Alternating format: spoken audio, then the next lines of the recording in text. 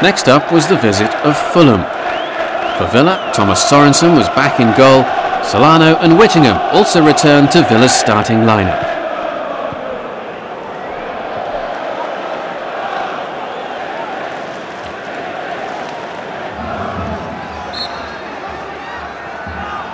Still looking for his first Premiership goal this season, Norberto Solano. Will this be the moment that it arrives?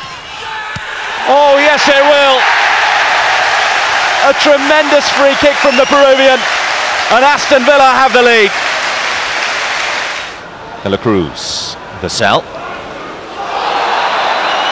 Diop mistimed that one completely.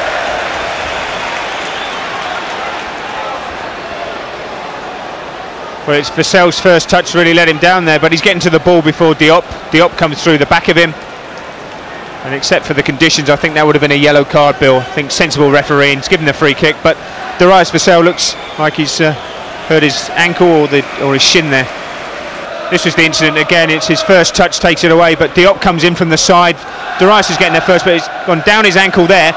And you see him, he's stood on it, and then his ankle's gone right underneath, and then his other ankle's gone underneath as well. So that's a double blow for Darius Vassell. Solano, Carlton Cole, Lee Hendry. Hendrie goes for goal! His scoring streak just goes on and on. Lee Hendrie with another sensational goal for Aston Villa, 2-0. And it's on his left foot again, but this is given away by Steed Malbranque in the corner near the touchline. Carlton Cole plays a lovely ball Hendrie takes it on his left foot, bends it in that far corner. Van der Sar absolutely no chance. The defender doesn't get close enough to him that night here. Van der Sar can't see that, but what an exquisite finish that is from Lee Hendrie, right into the side netting on his left foot. Just direction, not a lot of power, but fantastic direction. And I think that's three points for the Villa.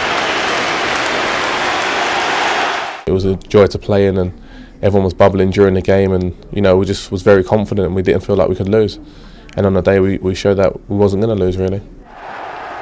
Darius Vassell's injury subsequently turned out to be a broken ankle. He would be out until the end of February.